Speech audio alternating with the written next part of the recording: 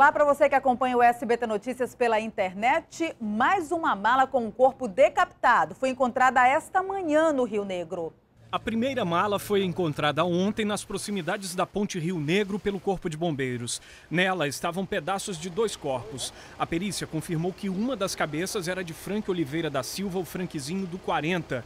Hoje de manhã, outra mala foi achada. A mala foi encontrada nas proximidades da Marina do Davi por uma criança. O garoto estava em um flutuante quando avistou o objeto boiando no rio. A polícia militar foi acionada e o Corpo de Bombeiros removeu o objeto aqui para a praia da Ponta Negra. A mala deve passar por perícia, porque dentro há indícios de que haja um corpo humano em decomposição. A perícia também deve revelar se esse corpo tem relação com os outros encontrados ontem também no Rio Negro. Um, um garoto ele avistou a, a mala, né, próximo da, da residência dele, que é um flutuante, e aí os parentes dele avisaram a viatura, nós viemos averiguar a situação e encontramos a mala, né? Estava aqui já amarrada no, no tronco. Quando foi retirada da água, parte da mala se rasgou. Era possível ver que dentro estava um corpo em decomposição. A perícia foi feita na praia da Ponta Negra. O corpo estava sem cabeça, com as pernas cortadas e com marca de tiro. A polícia acredita que seja de Antônio Carlos Uchoa, o Tonga, desaparecido junto com o Franquezinho do 40 desde sexta-feira do Compage. É quadrilha rival, tá? É disputa quadrilhas rivais aí. Não dá para comprar um carro zero, o jeito é levar um usado para casa. Mas é preciso ficar atento na hora de fazer negócio. Ruídos no motor e vazamentos indicam que o veículo pode dar muita dor de cabeça. No mercado de compra e venda de veículos, nem sempre dá para levar para casa um carro zero. Mas será que as pessoas sabem escolher bem um usado? Os especialistas alertam é preciso ficar atento. Fazer uma, uma checagem no olho, né?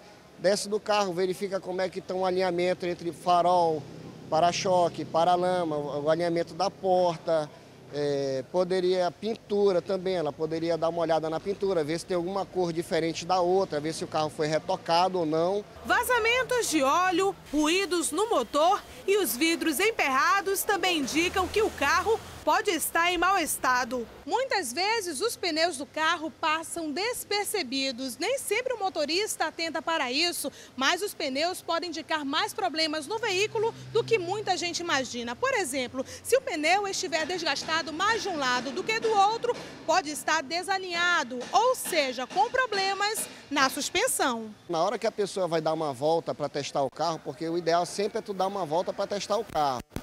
Nessa hora o carro vai puxar, vai fazer barulho, alguma coisa vai acontecer, o volante vai tremer. Então, caso aconteça alguma coisa desse tipo, você tem que parar e verificar o pneu, verificar alinhamento. Ricardo não percebeu esses problemas ao comprar um carro de segunda mão. Resultado, teve prejuízos. Eu descobri depois de mais ou menos de um ano que eu levei para fazer manutenção, porque ele estava tendo muitos problemas né, com peça, com barulho. E o mecânico disse que ele tinha sido batido, né, que ele tinha sido maquiado. Então eu tive problemas, né, comprei bastante peças, tive bastante prejuízo.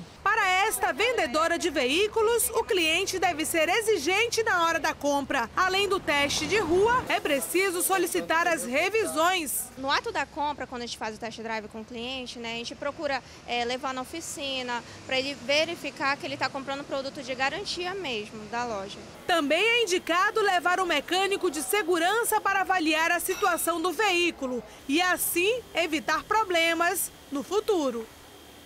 Agora, o esporte, os atletas amazonenses ainda encontram dificuldades em participar de campeonatos fora do estado por falta de patrocínio. Nessa academia na zona sul da cidade, os treinos são intensos.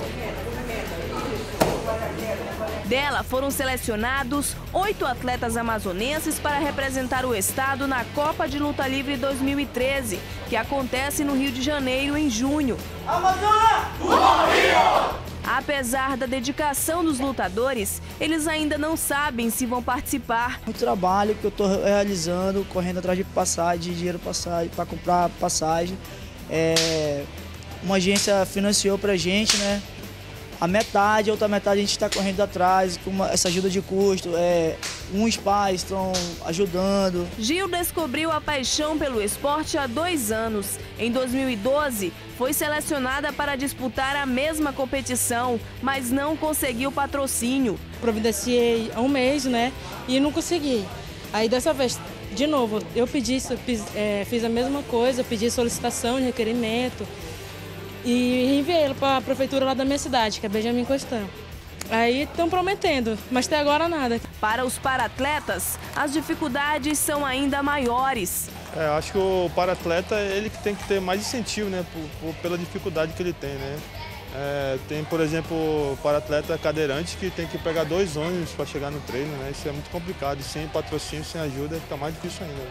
Luiz joga tênis há 20 anos. Ano passado recebeu patrocínio da empresa onde trabalha. Como ele tem a, uma deficiência, né, então o, a empresa ela incentiva assim no sentido de ajudar, né?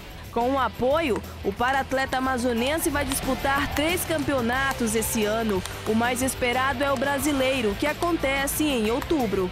Preocupação a menos que você tem com custo, com porque você quer ir além no esporte mas tem aquela preocupação de você, será se eu tenho condições de pagar uma passagem, de, de viajar com meus companheiros, é, porque eu, eu não vivo do esporte, mas tira aquela preocupação de lado e você fica só treinando, né? A seguir, nossos repórteres mostram a situação no centro da capital por causa da enchente e os ciclistas fazem manifestação para pedir atenção e cuidado dos motoristas no trânsito da capital. Agora são 10 horas e 49 minutos, nós voltamos já.